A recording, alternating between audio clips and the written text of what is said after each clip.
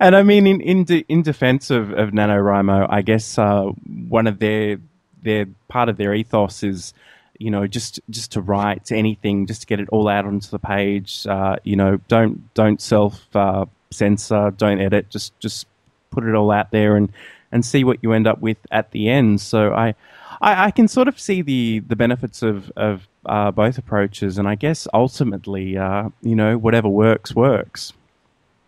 Definitely, and I think possibly a combination of the two is probably where I need to I need to find a middle ground, John, where I can take these lofty concepts and pin them down in the middle and then find these gaps here and NaNoWriMo the gaps.